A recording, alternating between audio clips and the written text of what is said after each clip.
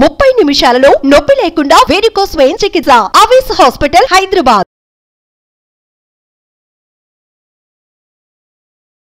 నమస్తే రమగారు. నమస్తే జయ రమగారు భవిష్యత్ ఏంటో తెలియదు మనకి.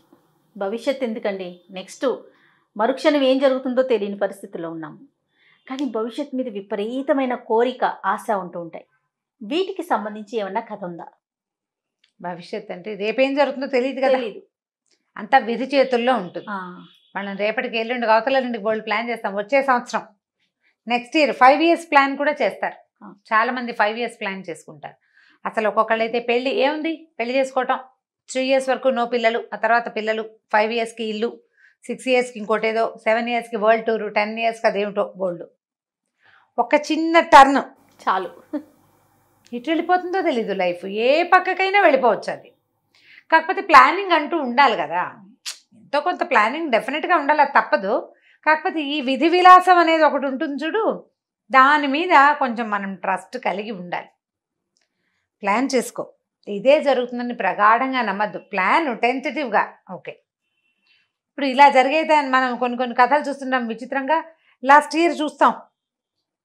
పిల్లాడు ఏదో ఫెయిల్ అయిపోయాడు వాళ్ళ ఇంట్లో మా వాడికి సరిగా మార్కులు రాలేదు వాడు ఏమిటో వాళ్ళ ఇంట్లో ఎన్నది వాళ్ళ అబ్బాయి చాలా అధ్వాన స్థితిలో ఉన్నాడు వాళ్ళంతా చాలా దుఃఖంలో ఉన్నారనుకుంటాం. వచ్చే సంవత్సరం వాళ్ళ అబ్బాయి అమెరికాలో ఉంటాడు. పిల్ల పెళ్ళి కుదిరిపోతుంది ఇక్కడ. అది అలా ఈ ఉసూరు మియాల్లాగా ఉండే భార్యాభర్తలు టింగు రంగామని కనిపిస్తారు మనకి. అవును. ఇలాంటివి కనపడతాయి ఓ బ్రహ్మాండంగా వేసి వేయమని ఉన్నారు ఎంత బాగుందో సూపర్ వాళ్ళ అబ్బాయి భలే చదువుకున్నాడు బ్రహ్మాండంగా వాడికి ఐఏఎస్ వచ్చేస్తుంది దామ్ డేమ్ డిస్క్ అనుకుంటాం ఏం ఉండదు అక్కడ. చివరికి ఏమవుతుంది? అసలు ఐఏఎస్ ఏమిటో ఐపీఎస్ అయిపోతాడు అనుకున్న పిల్లాడు మామూలుగా ఏదో మామూలు ఉద్యోగంలో పాతిక వేల రూపాయల ఉద్యోగంలో చేరిపోతాడు. వీళ్ళకి బోల్ డబ్బులు ఉన్నాయి బోల్ అది ఉంది ఇది ఉంది అని అనుకుంటే సడన్గా భార్య భర్త నీకు నాకు పడదు రామ్ రామ్ అని చెరో పక్కకి వెళ్ళిపోయిన వాళ్ళు కనిపిస్తారు. చెప్పలేకపోతాం. మనం ఒకటి అనుకుంటాం. పైవాడు ఇంకొకటి ఇంకోటి. అనుకుంటుంటాడు. ఏదో ప్లానింగ్స్ చేస్తూ ఉంటాం. అయితే ఇలా విధి విలాసాల మీద ఒక కథ ఉంది చెప్దాం. ఓకే. సముద్ర సూర్యుడి కథ. సముద్ర సూర్యుడు. పేరు చాలా బాగుందండి. బలసాయలు అనమాట వాడు. సముద్ర మీద బలసాల అలా చెప్పడానికి వీల్లేదు ఒక పూర్వం ఒక ఏమనాలి? ఏదో ఒక- ఒక ఊరు ఒక రాజుగారు ఉన్న ఊళ్ళో సముద్ర సూర్యుడు అనే ఒక అబ్బాయి ఒక వ్యాపారస్తుల ఇంట్లో పిల్లవాడు. ఆ రాజుల కాలంలో ఏంటంటే రాజులు ఇలా వ్యాపారాలు చేసుకునే వీళ్ళకి గుప్తాలకి వాళ్ళకి చాలా ధన సహాయం చేసేవాడు. వాళ్ళు ఏం చేసేవాళ్ళు? ఈ ఊళ్ళల్లో బాగా విరివిగా తయారయ్యే వస్తువుల్ని పడవల మీద ఓడల మీద వేసుకుని సముద్రం మీద వేరే దీవులకి వేరే రాజ్యాలకి వెళ్ళిపోయి అక్కడ ఇదంతా బోర్లేసి అక్కడ విరివిగా దొరికే వస్తువుని మళ్ళీ నింపుకుని తెచ్చేవాళ్ళు. మనకి ఇక్కడ పావలాకి అద్దకి దొరికేది అది పాతికలు ముప్పైలు అమ్ముతుంది ఆ ఊళ్ళో. బిజినెస్ ఆ పాతికలు ముప్పైలు కూడా హోల్సేల్ మీద. రీటైల్లో వాడు వందల్లో అమ్ముకుంటాడు. అవునండి. ఇప్పుడు మనకు జరిగేదే అప్పట్లో ఇలా సముద్ర వ్యాపారాలు నడిచేవి. ఈ సముద్ర సూర్యుడి ఆ తండ్రి కూడా ఇలాగే బిజినెస్ చేసేవాడు. కాలగతిన తల్లిదండ్రి కాలం చేశారు. పిల్లడికో ఇల్లు వాకిలి అవి ఒక సుమారుగా పర్వాలేదు బాగానే ఉంది. అయితే సముద్ర సూర్యుడు ఏమంటున్నాడంటే మన పేరే సముద్ర సూర్యుడు. మనం వ్యాపారం చేయకపోవటం ఏమిటి? అని చెప్పి రాజుగారి దగ్గరికి వెళ్ళాడు సహాయానికి. ఆయన ఏదో కొంత సహాయం చేశాడంటే ఏం చేస్తారు? సహాయం అంటే ఈ ఊళ్ళో ఈ సరుకు దొరికే సరుకులు ఉంటాయి కదా బాగా తక్కువ దొరికేవి. వాళ్ళకి ముందే కబురు చేసి సముద్ర సూర్యుడు వస్తాడు వాడికి ఇదిగా ఇచ్చేసేయండి. వతన అంటే ఆ, అమానత్తుగా ముందే ఇచ్చేసేయటం డబ్బులు. వస్తువు ఇచ్చేసేయటం. డబ్బులు తర్వాత వచ్చాక ఇస్తాడు. అనామత్ అంటారు దాన్ని. అనామత్గా రాయించి తెచ్చుకుంటాడు సరుకు. ఇది తెచ్చేసుకున్నాడు. తెచ్చుకుని పడవల మీద వేసుకున్నాడు బయలుదేరాడు బోల్డ్ మంది కలిసి బయలుదేరారు. మామూలుగా ఈ పడవల్లో వెళ్ళేటప్పుడు ఏంటంటే ఒక పడవ ఏదైనా మాట్లాడుకుంటే అందులో ఫిఫ్టీ పర్సెంట్కో థర్టీ పర్సెంట్కో వీళ్ళు మాట్లాడుకుంటారు. ఇంకా కొంచెం చిన్న పొన్న వ్యాపారాలు వాళ్ళు ముగ్గురు నలుగురు కలిసి వాళ్ళు. ఆ దేశంలో ఆ రాజ్యంలో పెళ్ళి సంబంధాలు లేకపోతే స్నేహ సంబంధాలు ఉన్న వాళ్ళు ట్రిప్పులకు వెళ్ళేవాళ్ళు రాచరికపు వ్యవహారాలు చక్కబెట్టడానికి వెళ్ళే రాజాధికారులు ఉంటారు కదా రాజు తాలూకు అధికారులు వాళ్ళు వీళ్ళు గవర్నమెంట్ ఎంప్లాయీస్. ఇట్లా బోళ్ళంత మంది చేరేవాళ్ళు ఈ వెళ్ళేసరికి ఈ పడవ ఏమైంది? సముద్ర మధ్యంలోకి వెళ్ళేసరికి బ్రహ్మాండమైన తుఫాన్ వచ్చింది. తుఫాన్ వస్తే ఇంకేమనుకుంది ఇదేమిటి? దాక్కున్న చోట దయ్యం వచ్చినట్టు ఏదో బతుకుదామని వ్యాపారం చేద్దామని వస్తే ఇక్కడ చావొచ్చేలాగా ఉంది. బతికుంటే బలిసాకు తినచ్చు. సరుకు సంగతి గంగలో దూకుని. పోని వెధవ సరుకు. అంతే. బతికుంటే కదా. మళ్ళీ రాజుగారి దగ్గరికి వెళ్ళి ఏదో ఒకటి చేయొచ్చని ఏం చేశాడు? తువాలు నడువు కట్టుకుని సముద్రంలోకి దూకేశాడు. ఈ లోపల నావ కాస్త మునిగిపోయింది. మునిగిన వాళ్ళు మునిగారు. తేలిన వాళ్ళు తేలేరు. ఎవరు ఎక్కడికి ఎలా తప్పించుకున్నారో తెలియదు ఈ సముద్రంలో పడిన సూర్యుడు ఇతను ఎప్పటికీ ఇది? రాత్రి పదకొండు పన్నెండు గంటల వేళ. అయితే ఇతనికి ఏమైందంటే ఒక గట్టి దొంగ లాంటిది ఏదో దొరికింది. బతుకు జీవుడా అని ఆ దొంగ పుచ్చుకుని ఓ పక్కకి అట్లా తోసుకుంటూ వెళ్తా మొదలెట్టాడు సముద్రపు వాళ్ళు ఎటుంటే అటే ఎదురీదలేరు దేనికైనాను. చిన్న ఏటికి ఎదురీదటమే కష్టం. సముద్రంలో ఈతకేముంది? ఏదో ఒకటి పట్టుకుని మునిగిపోకుండా ఉండడానికి ఒక సాధనం. ఆ దొంగ మీదకి చేరాడు అతను ఆ అలల పా దీనికి కొట్టుకుంటూ కొట్టుకుంటూ మెల్లిగా ఏమైంది? ఒక తీరానికి చేరిపోయారు. ఒక దీవి తీరానికి చేరాడు. చేరాక తెల్లవారుతూ ఉండగా ఒక నీళ్ళ మట్టి మీదకి వెళ్ళిపోయింది అది. సముద్రపు అలలతో తోసుకొచ్చేస్తుంది కదా. ఎప్పుడైతే మట్టి మీదకి వెళ్తారో ఈ మనుషులు బరువెక్కిపోతారు. బరువుగా ఉంటారు కదా. నీటిలో ఉన్నప్పుడు తేలేస్తుంది అటు ఇటు. ఈ తీరానికి కొట్టేశాక మళ్ళీ లాగలేదు వెనక్కి. స్లోగా అయిపోతుంది సముద్రం తీరం మీదకి వచ్చేసరికి. ఈ అట్లా అట్లా కొట్టుకొచ్చి మట్టి మీద పడుకొని నిద్రపోయాడు. తెల్లవారు లేచి బాగా ఎండకేక మెలకు వచ్చి చూస్తే తను పట్టుకుని ఇక్కడికి వచ్చినది దొంగ కాదు. అదొక మగవాడి శవం. డెడ్ బాడీ అది నీళ్ళలో కర్రలాగా బిగుసుకుపోయింది. ఇతను మునక్కండా అది కాపాడింది. సరే చూస్తే అవి అతని నడువుకి ఏదో గుడ్డ కట్టుంది. ఆ గుడ్డ విపదిస్తే అందులో ఒక చాలా ఖరీదైన ఒక కంఠాభరణం కనపడింది అతనికి. ఏమనుకున్నాడంటే భగవంతుడా ఎంత గొప్పవాడివి నువ్వు. విధి విచి వైచిత్రి ఎలా ఉంటుంది? కోట్లు విలువ చేసే ఇదంతా పోయింది సంపద. పోని నేను బతుకున్నానంటే నన్ను బతకమని భగవంతుడు ఈ వస్తువు ఇచ్చాడు నాకు. అతని ద్వారా అమృతదేహం ద్వారా. అమృతదేహం ద్వారా ఇది దొరికింది నాకు. అని చెప్పి ఆ కంటె చెత్తబుచ్చుకున్నాడు. కంటె అంటే ఇట్లా మెళ్ళలో వేసుకునే వస్తువు ఆడవాళ్ళది. సన్నటి కడ్డి ఉండి వెనకాల హుక్కు ఉండేది కంటె. కింద ఇట్లా వెడల్పుగా ఉండి క్రమంగా సన్నగా అవుతుంది. ఈ కంటెల్లో ఏం చేస్తారంటే లోపల సన్న సన్న హోల్స్ పెట్టి వజ్రాలు ముత్యాలు అవి పోస్తారు అందులో. పోసేసరికల్లా ఆ హోల్ నుంచి మనం కదిలినప్పుడల్లా వెలుతురు తగిలి మెరుస్తూ ఉంటుందన్నమాట.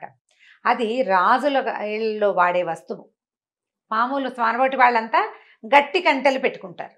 ఈ బోలు కంటే అందులో వజ్రాలు పచ్చలు కెంపులు ఉన్నాయి అంటే అదేదో ఒక రాచకన్య తాలూకుది. ఎవరో రాచరికపు వస్తువు. వీడెవడో చచ్చిపోయినవాడు ఎవడో ఏమిటో మనకేం తెలుసు. వస్తువు చేత పుచ్చుకున్నాడు బయలుదేరాడు. సరే ఏం చేశాడంటే ఈ సముద్ర తీరం నుంచి ముందుకెళ్తే అది ఒక దీవి ఏదో కొంచెం నగరం లాగా కనపడుతుంది కొద్దిగా. అట్లా నడుచుకుంటూ వెళ్ళాడు. వెళ్ళేసరికి ఒక దేవాలయం కనిపించింది. ఈ దేవాలయం దగ్గర ఏం చేశాడు? ఏదో ప్రసాదం పెడుతున్నారు. అంత ప్రసాదం తిన్నాడు. ఓ చెట్టు కింద పడుకుని నిద్రపోయాడు. నిద్రపోతే ఇది ఏం చేశాడు? రొంటిని పెట్టుకున్నాడు ఈ వస్తువుని ఇట్లా. పెట్టుకున్నాడు. నిద్రలో ఒత్తిగి లేసరికలు గుచ్చుకుంటాడు. గుచ్చుకుంటుంటే అతను రాత్రంతా ఎంత అలిసిపోయి ఉన్నాడు? ఒళ్ళు తెలియట్లేదు కదా? ఈయన ఇక్కడ దోపాడు చూడు ఆ వస్తువుని తీసి ఇట్లా చేత్తో పుచ్చుకుని పడుకున్నాడు. పక్కకి తిరిగి పడుకుని ఈ వస్తువు ముఖం మీదకి వచ్చేసరికల్లా ధగ ధగ ధగ మెరుస్తోంది. కనపడుతుంది కదా చేతుల్లో ఉంటే. ఆ వైపున వెళ్తున్న సైనికుడు ఒకడు చూశాడు. ఏమిటి వీడు ఎవడో పడుకున్నాడు వీడి చేతిలో ఏముందని దగ్గరికి వెళ్ళి చూసేసరికల్లా ఆశ్చర్యపోయాడు. ఇదేమిటి? ఓకే. సరే. చూసి ఏమనుకున్నాడు? చేయి విదిలించి చూశాడు. చూసేసరికి ఆశ్చర్యపోయాడు. అది ఏమిటి ఆ వస్తువు? ఆ ఊరి ఆ ఊరి పేరు కలసిపురం. ఆ రాజకుమార్తె చక్రసేన అని రాజకుమార్తె. ఆ చక్రసేనది ఒక కంఠాభరణం పోయింది కొంతకాలం క్రితం. దొంగ కోసం చాలా వెతుకులాడుతున్నారు. ఆ కంఠాభరణం ఇది. దాని పిక్చర్ రాయించి పంపించారు వెతుకులాటకి. ఒక ప్రత్యేకమైన కంఠె షేపులో ఉండే ఒక కంఠాభరణం రాజకుమార్తెది. అక్కడి నుంచి దొంగ దొరికాడు ఇంకేముందని ఈయలగొట్టాడు ఈయన. విజిల్ వేసేసరికి అందరు చేరిపోయారు. పట్టేసుకున్నారు. ఇతను దో- అన్నాడు చెప్పాడు వినలా. ఏదో శవం మీద ఉంది అంటే నేను అక్కడ ఎక్కడి నుంచో వచ్చాను. నమ్మద్దు పైగా ఏమో పై పలానా ఊరి నుంచి వచ్చానంటే ఏదో కాగితమో ఇంకోటో ఏమిటో ఉండాలి. ఏమీ. లేవు ఇతని దగ్గర. దాంతో ఏం చేశారు? రాజుగారు చూసేది చూడడం ఏమిటి? మరి ఉరిశిక్ష వేశారు.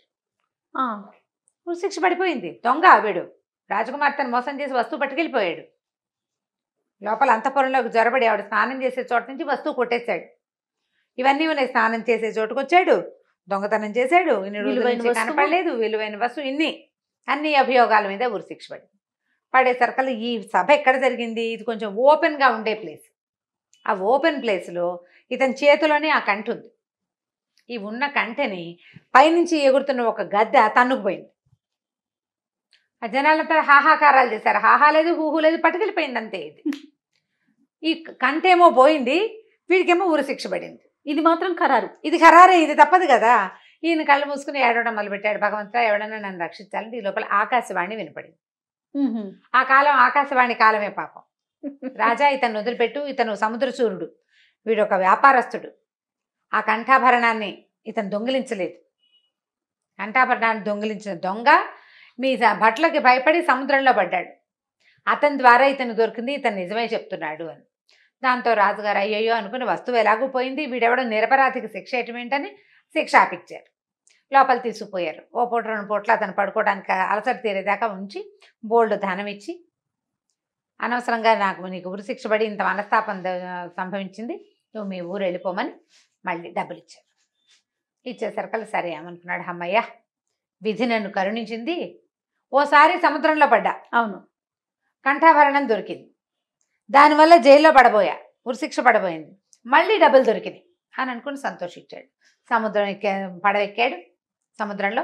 సరే ఆ దాటాక సముద్రం దీని నుంచి బయటికి వచ్చాక అంటే ఏమనాలి నౌకాశ్రయం చేరిన తర్వాత అక్కడి నుంచి వెళ్ళి ఊరు వెళ్ళటానికి బాగా సమయం పడుతుంది. పూర్వం అంటే రాజుగారి వల్ల సులువుగా ఎక్కేసాడు అతని పడవ. ఇప్పుడు అంత ఏమీ అవకాశం లేదు కదా. అతను ఏం చేశాడు? రాజుగారు ఇచ్చిన డబ్బు దశకం అన్ని సంచులు కట్టుకున్నాడు.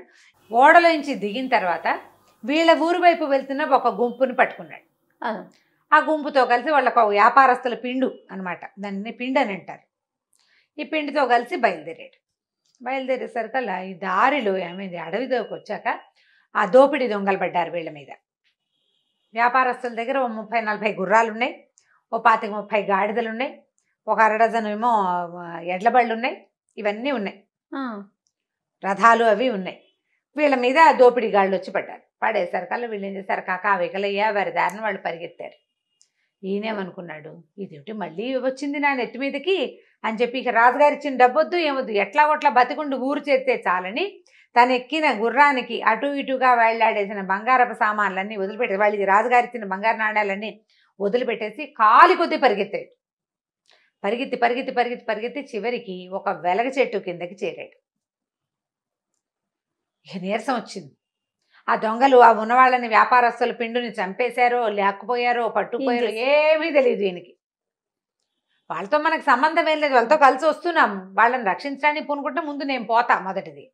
నా డబ్బు అని డబ్బు వెంబడికి వస్తే డబ్బు పుచ్చుకొచ్చాడు అనుకో మూటలు చేత్తో పుచ్చుకున్నాడు అనుకో పరిగెత్తలేకపోతాడు కదా. బరువు. ఏ బరువు లేదు కాబట్టి ఈజీగా పరిగెత్తేశాడు. దొరకకుండా ఉన్నాడు. ఈ దా దారి దోపిడీ దొంగలు ఏంటంటే డబ్బులు దొరికినవి లాక్కోగా మనుషుల్ని చంపేస్తారు వాళ్ళు సాక్ష్యం చెప్పకుండా.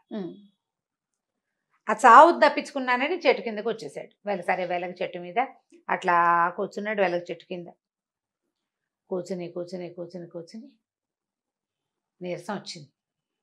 ఎలాగోలాగా బతికితే చాలరా దేవుడా అని పడుకుని నిద్రపోయాడు. చీకటి పడింది నిద్రపోయాడు. మర్నాడు పొద్దున బాగా ఎండ వచ్చేసరికి మెలకు వచ్చింది ఎండ వచ్చేసరికల్లా ఎండ ఆ పక్క నుంచి పడుతోంది. చెట్టు మీద నుంచి కూడా మొహం మీద వెలుగు పడుతున్నట్టు తెలిసింది అతనికి. పైకి ఎక్కి తలకాయ ఎత్తి చూస్తే సూర్యకిరణాలు పడి ఆ చెట్టు మీద పక్షి గూడులో ఉన్న ఏవో వస్తువులు దాని మెరుపు పరావర్తనం చెంది తన ఇతని మీద పడుతుంది. ఏమిటి ఈ చెట్లో ఏముంది అని చెప్పి ఏం చేశాడు? ఆ వేలగ చెట్టు ఎక్కాడు.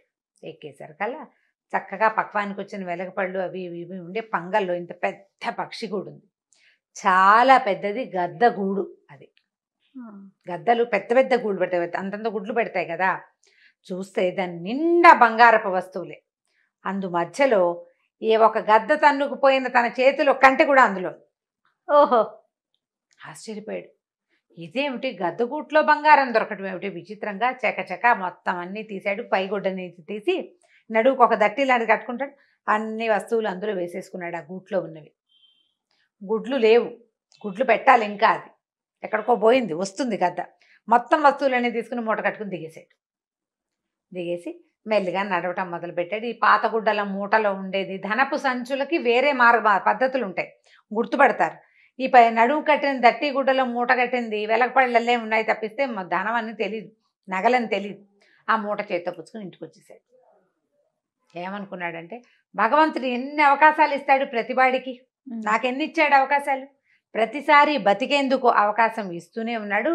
ఈసారికి సముద్రాల మీదకి వెళ్ళొద్దు. ఇక్కడ ఈ ఇచ్చిన అవకాశాన్ని వాడుకుందాం ఇక్కడే అని చెప్పేసి ఈ తెచ్చిన బంగారపు వస్తువులు నగలు చాలా వచ్చినాయి కదా. వాటిలలో కొన్నిటిని అమ్మేసి ఆ కంటెని మాత్రం జాగ్రత్తగా దాచిపెట్టుకున్నాడు. మిగిలిన చిన్న పొన్న వస్తువులన్నీ అమ్మేసేసి మళ్ళీ ఇక్కడ చిన్న వ్యాపారం మొదలుపెట్టి రాజుగారి దగ్గర నుంచి అనామతగా సామాన్లు తెచ్చుకున్నాడుగా.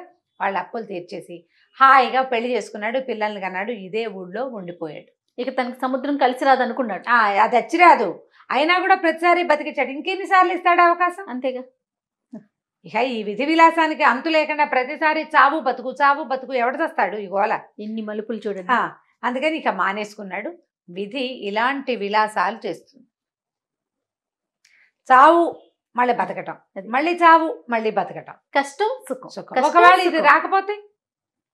ఇది రాకపోయింటే దా దారి దోపిడీ దొంగలకి ఇతను దొరికిపోయింటే? అంతే. ఇప్పుడు బంగారం దొరకపోయినా బతికేవాడే. బంగారం ఎందుకు దొరికిచ్చాడు భగవంతుడు? బాగా బతకమని ఇది రెండోసారి అతనికి బంగారం దొరక అవకాశం ఇచ్చాడు. దాంతో ఈ ఇచ్చిన అవకాశాన్ని వాడుకుని ఇక ఎప్పుడు సముద్రశూరుడు సముద్రానికి వెళ్ళటమే మానేశాడు అనమాట హాయిగా తను ఉన్న ఊళ్ళోనే సుఖంగా ఉన్నాడు. ఇది విధి విలాసపు కథ. విధి విలాసంతో పాటు రమ్మగారు చూడండి. కష్టం వెనకాలే సుఖం ఉంది. సుఖం వెనకాలే మళ్ళీ కష్టం ఉంది. అంతే. జీవితం అనేది సైకిల్ తెలియజేస్తుంది. సైకిల్ చక్రం కదా. చక్రం తిరుగుతుంటే కిందది పైకి అవదా పైది కింద? కవదా అంతే కదా. చాలా బాగుంది రమ్మగారు. Thank you. నమస్తే అండి. నమస్తే జయ. ఇక ఈ వీడియో కనుక మీకు నచ్చినట్లయితే లైక్ చేయండి షేర్ చేయండి. మరిన్ని ఇంట్రెస్టింగ్ వీడియోస్ కోసం మా ఛానల్ని సబ్స్క్రైబ్ చేసుకోండి.